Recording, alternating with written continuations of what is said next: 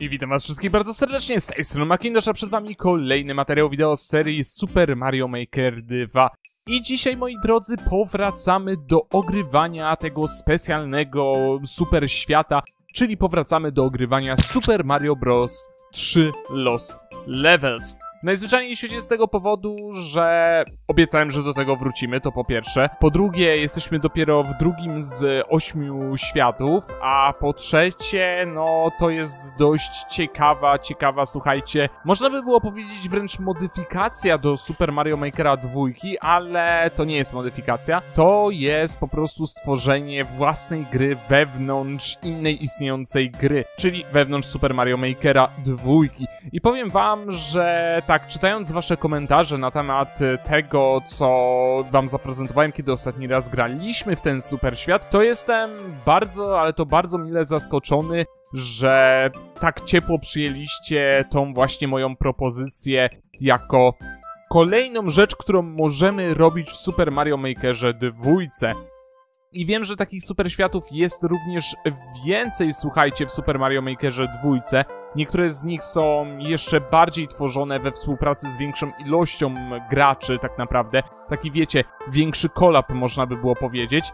Ale, no, ciężko jest natrafić na tak dobrze stworzony i na tak wiernie odtwarzający to, co znajduje się w Super Mario Bros. 3 wiernie nie oznacza identycznie, ponieważ już sama mechanika Super Mario Bros. 3 w Super Mario Makerze 2 jest zupełnie, zupełnie inna niż tak znajdująca się w oryginalnej grze. No i słuchajcie, żeby tutaj też nie przedłużać, jak zwykle małe ogłoszenie parafialne, czyli tak jak zwykle zachęcam was do podsyłania swoich ID poziomów, a także nazw tych poziomów. A jeżeli macie znajomych, którzy się wstydzą pokazywać szerszej publice swoje twory, swoje poziomy, a wiecie, że przydałoby im się taki, wiecie, motywujący kopniak, żeby właśnie zaczęli jeszcze lepiej to wszystko tutaj pokazywać, prezentować szerszej publice i żeby bardziej w jakiś sposób przybliżyć ich do community Super Mario Makera 2, to również wrzucajcie tego typu, słuchajcie, poziomy w komentarzach. Po prostu piszcie je również w komentarzach, tylko zaznaczajcie gdzieś, że jest to poziom stworzony przez waszego znajomego o niku albo ksywce takiej i takiej, żeby to łatwiej było potem, wiecie, dla rozeznania dla mnie, kiedy będę wybierał po prostu poziomy do ogrywania stworzone przez was. I tak samo, jeżeli posiadacie jakiś super świat, który, no, jest y, długi, krótki, ale nie wiecie tak naprawdę co z nim zrobić i chcielibyście, abym go ograł, ale zawiera na przykład poziomy, nie wiem, zawiera 10 poziomów ten cały super świat, ale wśród tych 10 poziomów 4 z nich przeszedłem już po prostu ogrywając je w formie takiej, że o, najzwyczajniej w świecie kiedyś tam podesłaliście mi jakieś poziomy, ja je sobie przeszedłem i najzwyczajniej w świecie, no, co teraz? No nic teraz. Możecie podesłać również taki super świat, bo najzwyczajniej w świecie to nie jest dla mnie żaden problem, ponieważ super światy oceniam również po tym, w jaki sposób wygląda tam mapa Overworlda. Czy ona zachęca do tego, aby te super światy ogrywać, czy może jednak odtrąca od siebie, czy w jaki sposób to tutaj wygląda. W każdym bądź razie Piszcie również ID Makera w tym wypadku w komentarzu, jeżeli chcecie, żebym zagrał wasz super świat i zaznaczcie ile mniej więcej poziomów macie w tym super świecie, a także na ile mapek ewentualnie ten super świat jest y, podzielony. A my, słuchajcie, już bez dłuższego przeciągania tego, wracamy do Super Mario Bros. 3 Lost Levels. I słuchajcie, witam was w świecie drugim Super Mario Bros. 3 Lost Levels, czyli tego super świata i można by też było powiedzieć gry stworzonej wewnątrz Super Mario Makera 2, która ma być pewnego rodzaju takim, wiecie, takim nie tyle psztryszkiem w nos Nintendo, bo to by źle zabrzmiało, co ma być takim ukłonem właśnie w stronę fanów Super Mario Bros. Trójki. Witam was w drugim świecie, czyli w świecie Kupahari Desert którą, tak jak mówiłem, kojarzy mi się, że w naszym rzeczywistym świecie znajduje się jakaś właśnie pustynia, do której ma ta nazwa się w jakiś sposób odnosić i ktoś z was podesłał mi, słuchajcie, że chodzi tutaj o prawdopodobnie pustynię Kalahari.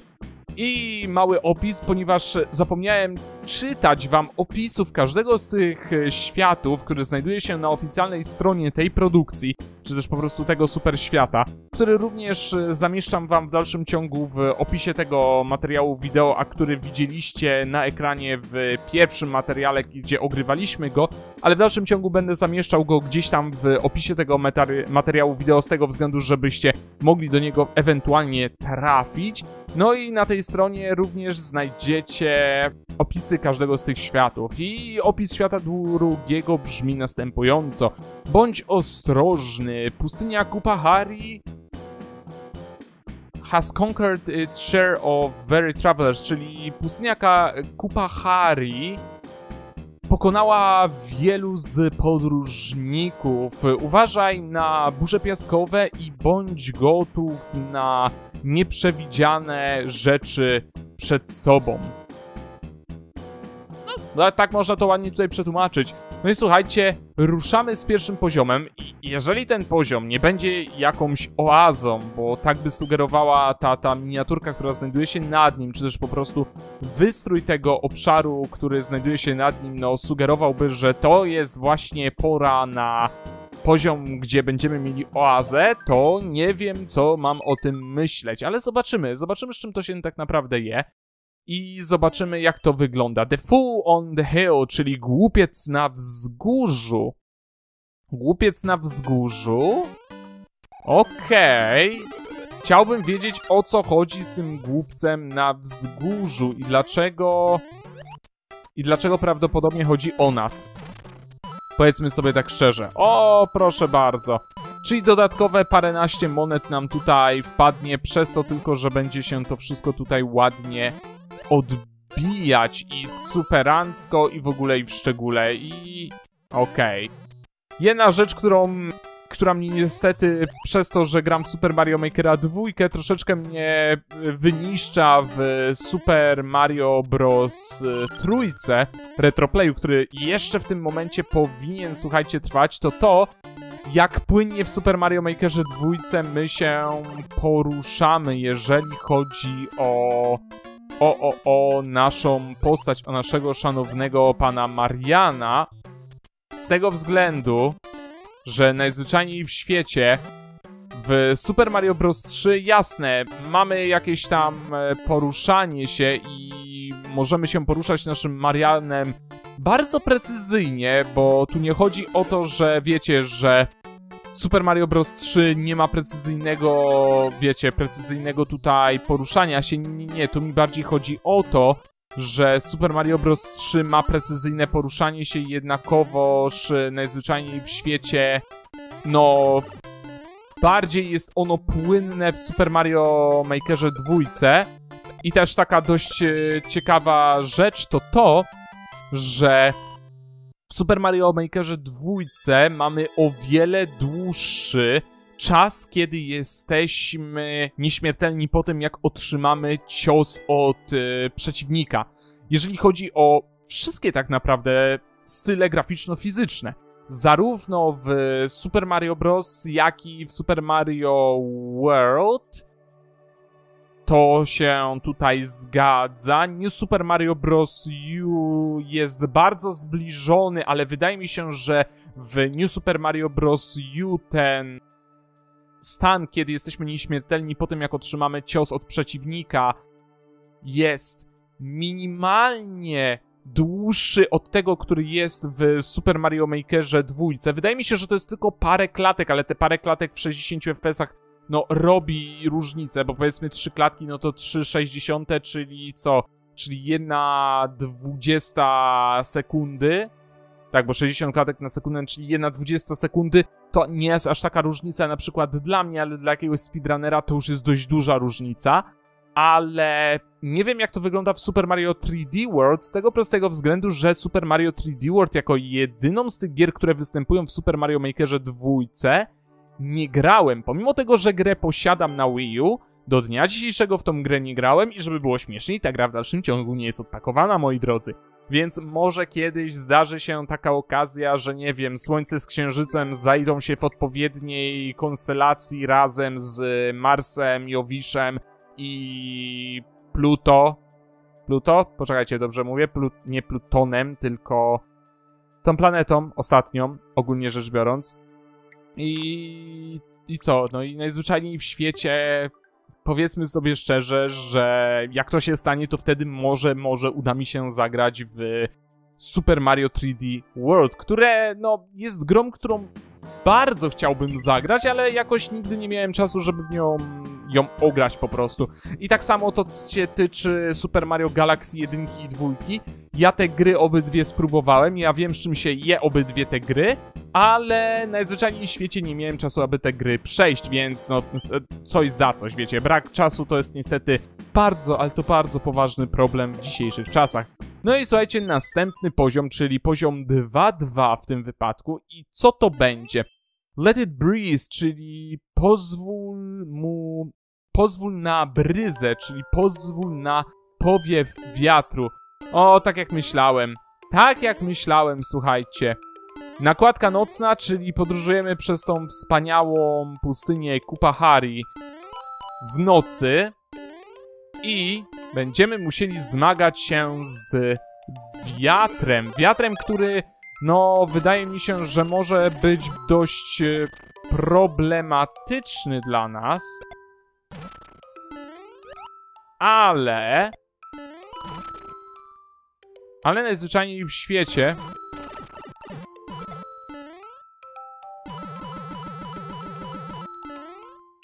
I jeszcze jedna sprawa, o której zapomniałem, że jest w Super Mario Makerze dwójce, a w Super Mario Bros. 3 jej nie ma, to to, że jeżeli coś zniknie nam z ekranu, no to w dalszym ciągu istnieje, a także skakanie z winorośli. To jest też rzecz, która mnie niestety w Super Mario Bros. trójce w retroplayu, który ogrywamy, też mnie troszeczkę niszczy z tego prostego względu, że...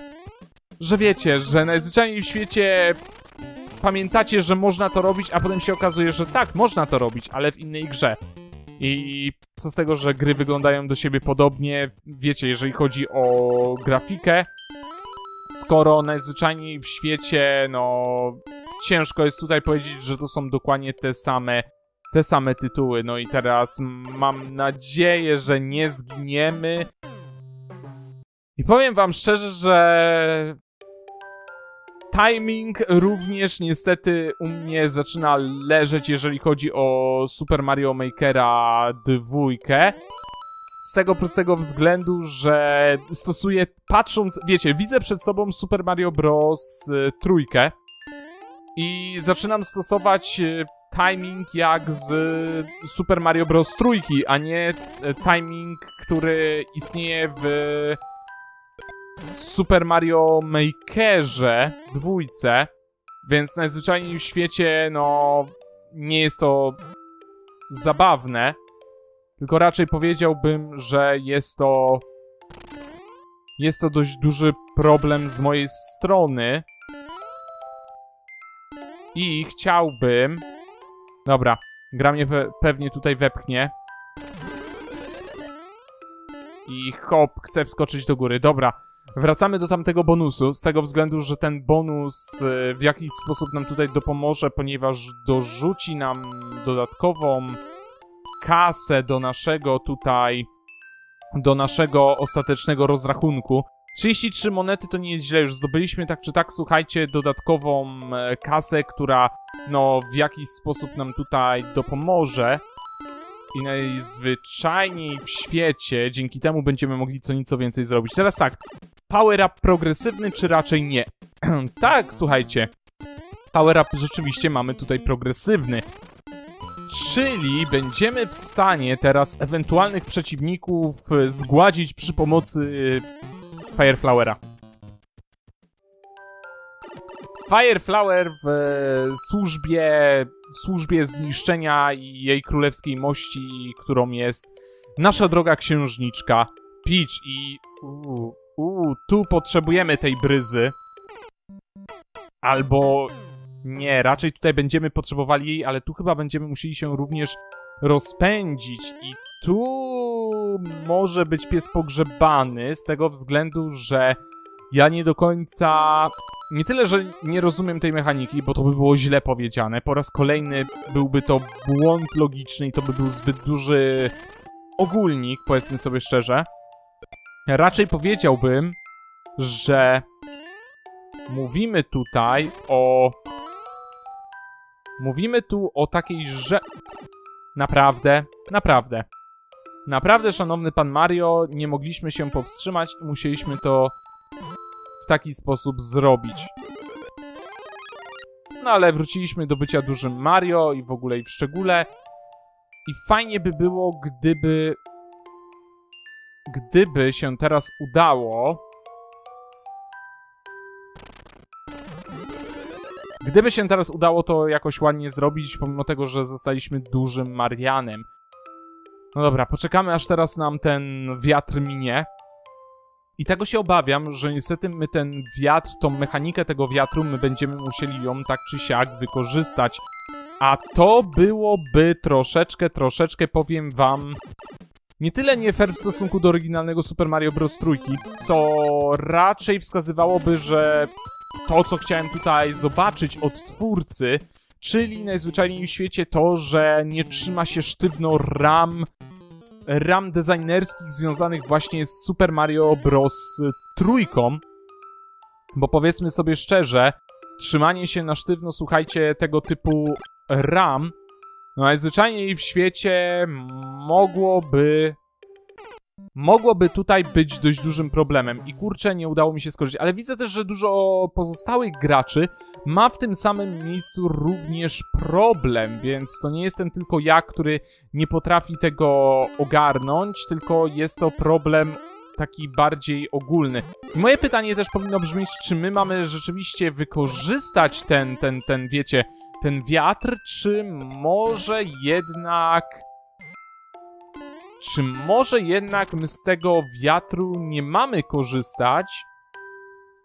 I my powinniśmy raczej tutaj wykorzystać...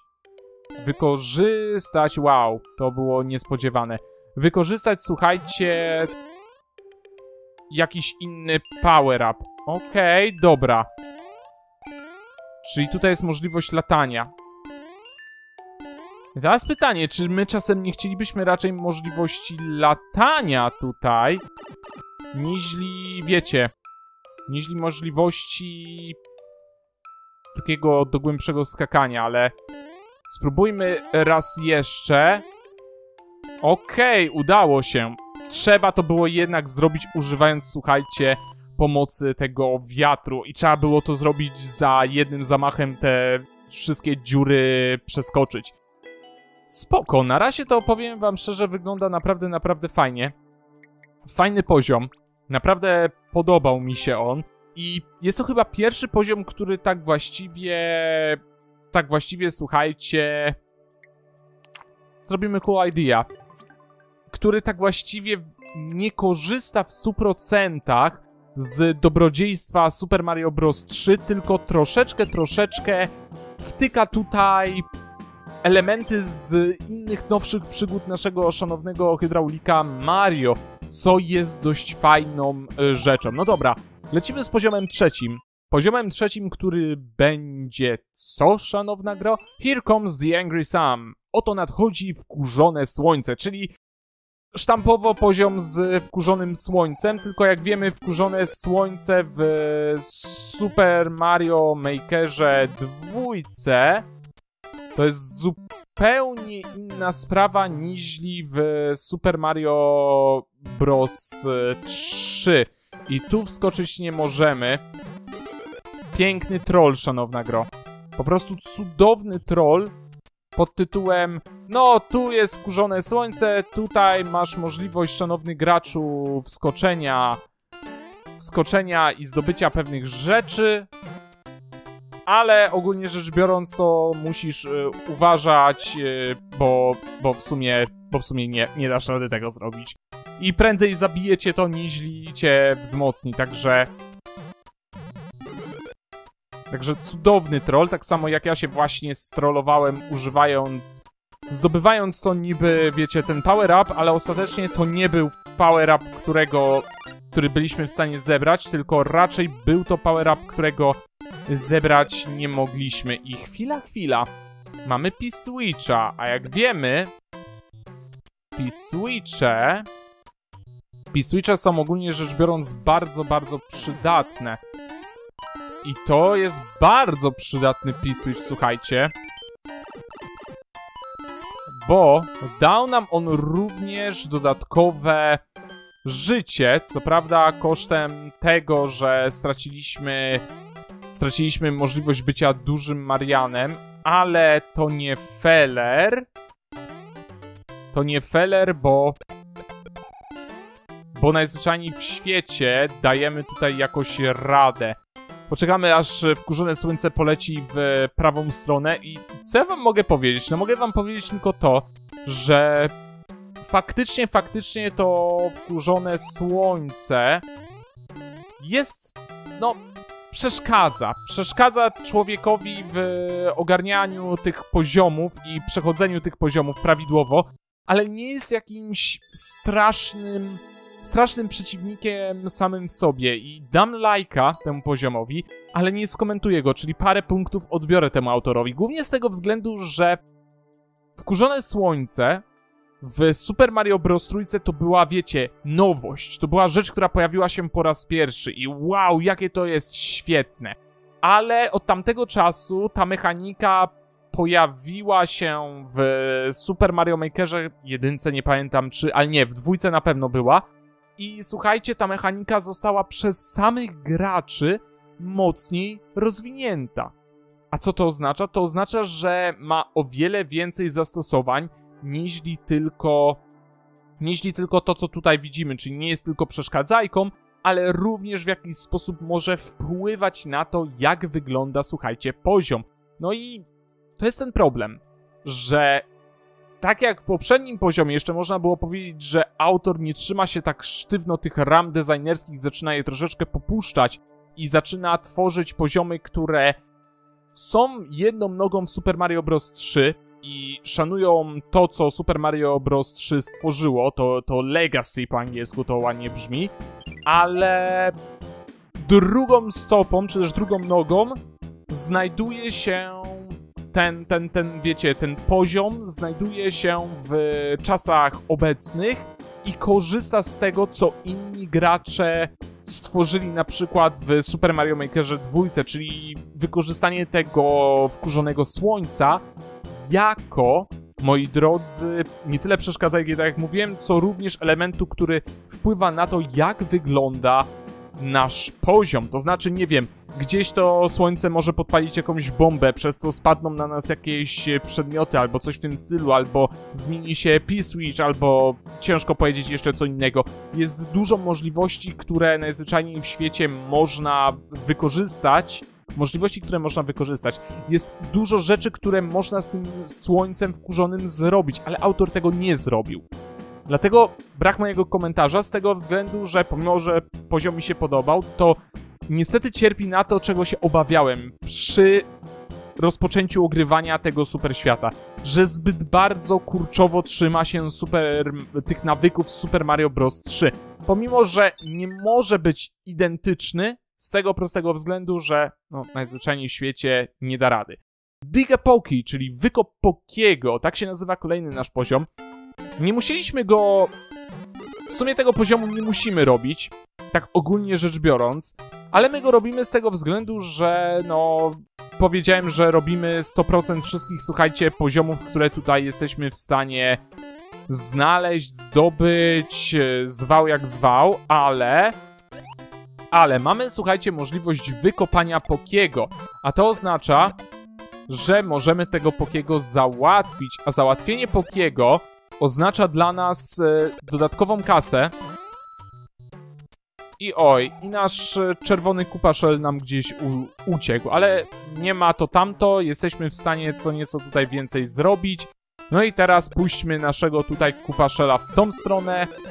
Jeżeli dobrze pójdzie, to powinniśmy zdobyć jedno dodatkowe życie. Pięknie, po prostu cudownie, a teraz zdobędziemy kolejne dodatkowe życie. Nie, jeszcze nie, jeszcze 15? Jeżeli dobrze liczę, 15 dodatkowych e, monet i jesteśmy w domu. I mamy również, słuchajcie, Raccoon Suta. Powiem wam szczerze, że ogrywając Super Mario Bros. trójkę, serio, brakuje mi możliwości zdobycia Raccoon y, Suta tak łatwo jak w, jak w Super Mario Makerze. To jest moja bolączka, szczególnie, że tak naprawdę ta rzecz, y, czy też y, Raccoon Suit jest bardzo, ale to bardzo fajną rzeczą, w sensie fajnym power-upem.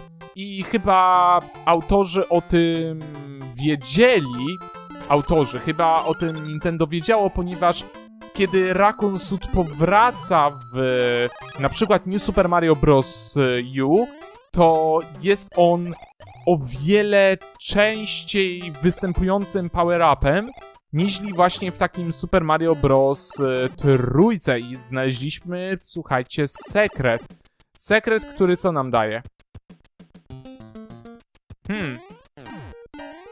Hmm. Co ten sekret nam tutaj daje? A, ten sekret nam daje możliwość wejścia tutaj. I gdybyśmy, słuchajcie, mieli w dalszym ciągu Raccoon Suita, to tam widziałem, że mieliśmy blok, który najprawdopodobniej nie był żadnymi monetami, tylko prawdopodobnie tam był jakiś power-up albo dodatkowe życie, bo przeważnie tak zauważyłem, że ten autor tutaj oznacza, gdzie możemy znaleźć dodatkowe, słuchajcie, życia. Dorzucimy komentarz, ponieważ no ten poziom już na komentarz zasłużył. Easy, ponieważ ten poziom był rzeczywiście bardzo łatwy. Nie znaczy to, że był zły. On był bardzo fajny, był bardzo treściwy, ale wiecie, mechanika z Pokim, ile tak naprawdę tej mechaniki z Pokim my jesteśmy w stanie tutaj w tym e, jednym poziomie zawrzeć. Tak naprawdę, jeżeli nie chcemy się... O, Catch and Win, poczekajcie. Pięknie. Schrzaniłem totalnie już na samym początku.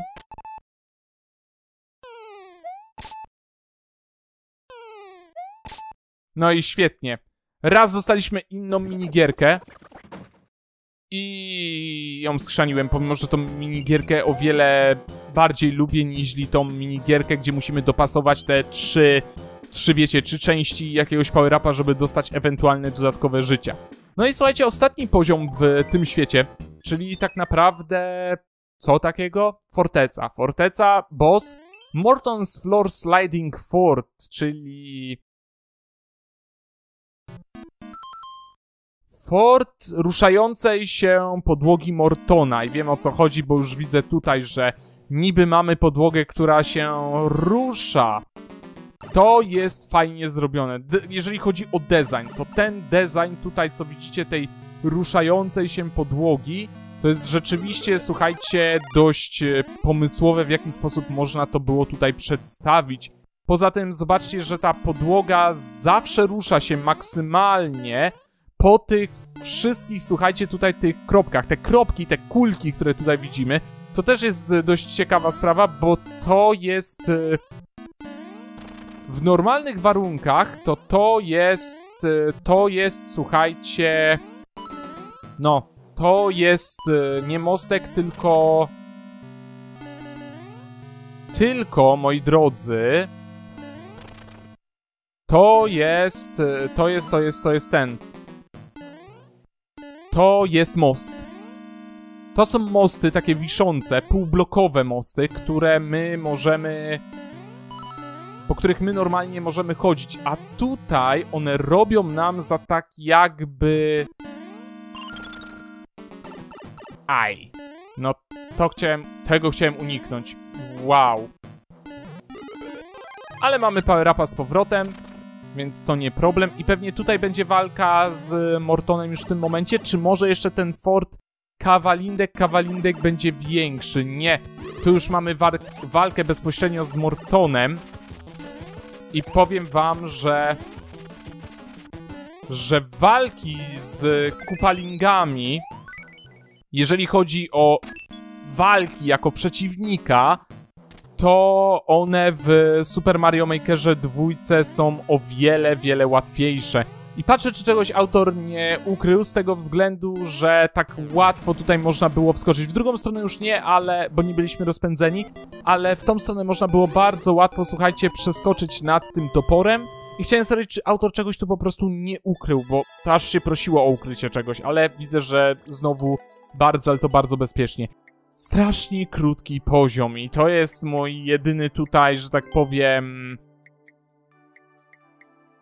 Bity zostawimy. Powiem wam, że to jest mój jedyny problem z niektórymi z tych poziomów. One przez to, że są utrzymane w tym duchu Super Mario Bros. 3, one muszą być krótkie. Ale jednak, jeżeli chodzi o poziom trudności, to Super Mario Bros. 3 jest zdecydowanie trudniejsze. Głównie również z tego względu, że mamy o wiele wiele płynniejsze sterowanie właśnie w Super Mario Makerze 2 względem Super Mario Bros. 3. Nie zrozumcie mnie tutaj źle. W Super Mario Bros. 3 mamy mega precyzyjne sterowanie.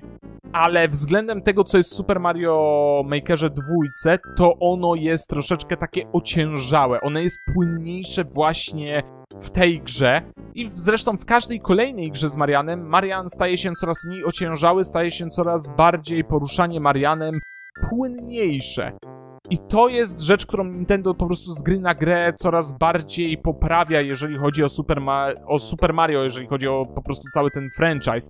I powiem wam szczerze, że to jest właśnie to, jeżeli gracie bardzo dużo w gry z jednej serii, ta seria ma pierdyliard tak naprawdę swoich odsłon, to pamiętajcie, że w pewnym momencie zaczniecie to zauważać, że im dalej w las, tym coraz lepsze, coraz bardziej płynniejsze, coraz bardziej wyrafinowane jest sterowanie naszą główną postacią. I wtedy, kiedy wrócicie do tych poprzednich części, nagle się okaże, kurczę, ale przecież ja w tą grę gram od tak dawna, każdą kolejną część przechodzę. Dlaczego teraz mi idzie tak źle? No, z tego prostego względu, że ostatnim razem, kiedy grało się w tą pierwszą część, powiedzmy, to było N lat temu i to N lat temu nie było lepszych y, możliwości sterowania naszym głównym bohaterem z danej gry, z tytułu X, powiedzmy sobie. No i tak samo jest Super Mario, po prostu z całym franchise'em. Im dalej w las, tym coraz lepiej, coraz bardziej wyrafinowane jest to sterowanie naszego głównego bohatera, czyż naszych głównych bohaterów w zależności na jaką część e, po prostu marki Super Mario spojrzycie. Ale w każdym bądź razie, jeżeli gracie w Super Mario Bros. E, jeżeli uwielbiacie Super Mario Bros. trójkę i gracie w Super Mario Makera 2 i Super Mario Makera 1 bez pamięci i stwierdzicie, że kurczę, po tylu latach fajnie jest wrócić do, fajnie by było wrócić do Super Mario Bros. 3 i zobaczyć jak ta gra się zestarzała. Ta gra zestarzała się dobrze, ale przez to, że więcej czasu poświęcacie na nowsze tytuły z tej samej serii, nagle się okaże, że kurczę, ja pamiętałem, że ta gra była o wiele łatwiejsza, jeżeli chodzi o sterowanie. W dalszym ciągu jest precyzyjna, ale kurczę, coś mi tutaj nie tyle, że się nie podoba, co no kurczę, wydaje mi się, że kiedyś było znacznie łatwiej mi sterować naszym głównym bohaterem. Bo tak, bo rzeczywiście było łatwiej sterować naszym bohaterem, ponieważ nie znaliśmy niczego lepszego. Nie było lepszej alternatywy do sterowania tym samym bohaterem. Może nie w tej samej szacie graficznej, ale w bardzo zbliżonej szacie graficznej. Dlatego też pamiętajcie o tym, kiedy wracacie do starszych tytułów tej samej serii, bo najzwyczajniej w świecie możecie się mocno sparzyć i wasza nostalgia może zostać całkowicie wdeptana tak bardzo mocno w ziemię. No i słuchajcie, jesteśmy w świecie trzecim, czyli w The Soaking Sea, czyli przemokniętym morzu. To, to jest bardzo marianowa nazwa. Ale ten świat jest cały mokry. Tylko wielcy pływacze, czy też osoby, które są świetnymi pływakami, będą w stanie przedostać się do E, będą w stanie się przedostać. Jednakże bądźcie ostrożni. Wendy Koopa została tutaj zauważona w swojej podwodnej Shallow Submarine. Shallow Submarine, shallow to jest płycizna, czyli łodzi podwodnej, która może pływać tylko i wyłącznie po płytkich wodach. Wiem, że to bardzo pięknie brzmi w języku polskim, ale no taka jest tutaj nazwa, bo Shallow to tak jak mówię, to jest płytka woda, a Shallow Submarine to jest rzeczywiście łódź podwodna, która jest w stanie tylko pływać po, po płytkich wodach. Jakkolwiek by to źle nie brzmiało, ale tak to już jest. No i słuchajcie, to by było na tyle w tym materiale wideo z Super Mario Makera 2. Mam nadzieję, że kolejny materiał z tejże serii wam się podobał. Mam nadzieję, że podoba wam się to, co tutaj wam prezentuję, w sensie ten customowy super świat, te Lost Levels, te zagubione poziomy Super Mario Bros. 3 stworzone z tak wielkim pietyzmem i zachowaniem wszelkiej czci dla Super Mario Bros. Trójki i chciałbym usłyszeć wasze zdanie na ten temat, jak wy na razie postrzegacie to, co tutaj widzicie. Z tego względu, że ja w dalszym ciągu mam obawy, że autor przegnie w którymś momencie i będziemy mieli zbyt mocno ukorzenione poziomy w Super Mario Bros. 3 i to po prostu stanie się w pewnym momencie dość monotonne, o tak to powiedzmy sobie wprost. W tym sensie monotonne, że mając możliwości, autor nie sięgnął po nie. Tak jak już mówiłem przy okazji wkurzonego słońca, tej mechaniki wkurzonego słońca, które widzieliśmy, którą widzieliśmy tak właściwie parę poziomów temu. Więc jakie jest wasze zdanie na ten temat? Może macie zupełnie inne zdanie, może się ze mną zgadzacie, a może stwierdzicie, że za bardzo pobłażam tutaj autorowi. Napiszcie to śmiało w komentarzu, z tego względu, że ja wasze wszystkie komentarze czytam i staram się nie odpowiadać w miarę swoich możliwości. Najczęściej odpisując wam po prostu komentarzem na komentarz, ale zdarza mi się również odnosić do waszych komentarzy w którymś z kolejnych materiałów wideo z tejże serii. A jak na razie ja się z wami żegnam. Dziękuję wam wszystkim serdecznie za uwagę. Komentujcie, subskrybujcie, polecajcie swoim znajomym przyjaciołom, trzymajcie się, no i do zobaczenia wkrótce. Cześć!